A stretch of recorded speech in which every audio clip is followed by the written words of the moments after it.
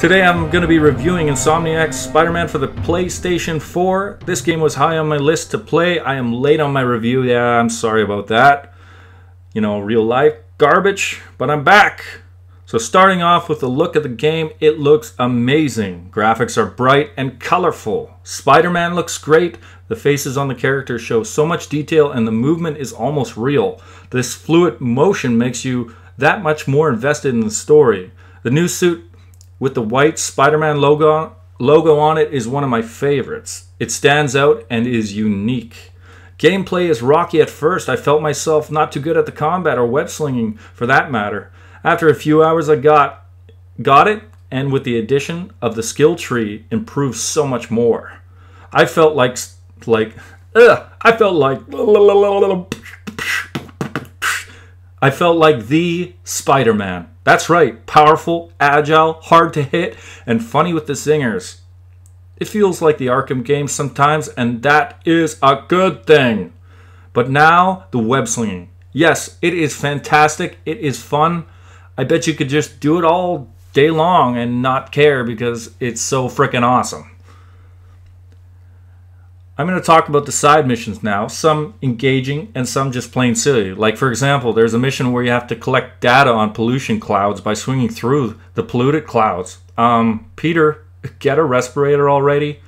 What? You couldn't find one? You work in a lab? You should have a respirator. Anyways, that's one of my minor gripes with the game. Um, I'm going to talk about the boss battles. They were epic great action sequences. There was patterns to them, and you use Spidey sense throughout. The bosses are unique, and Insomniac did a wonderful job with the design. Story was great. It was so great, in fact, this could be a movie, and I would be freaking happy about it.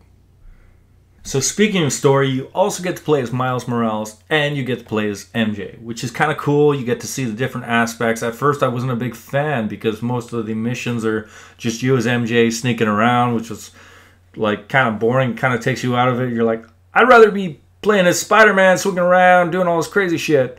But later in the game, you get to have missions where MJ is there and Spider-Man is there. I'm not trying to spoil too much. I'm just going to leave it at that. But that was pretty cool. It'd be like, what if I was there and Spider Man was there? That is very neat, kind of dynamic. So I forgave it. You know, it was part of the storytelling and it actually worked. And MJ is pretty freaking awesome, and Miles is pretty cool too.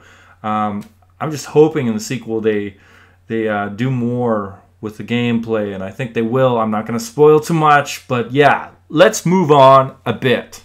J. Jonah Jameson is hilarious. He had me cracking up. He has his own podcast in the show. That is very cool um, and hilarious. Summing it all up, this is a must have. Buy it, download it. This is a gem. There's a lot of fun to be had here. You know, it's a masterpiece. It is the best Spider Man game out there to date.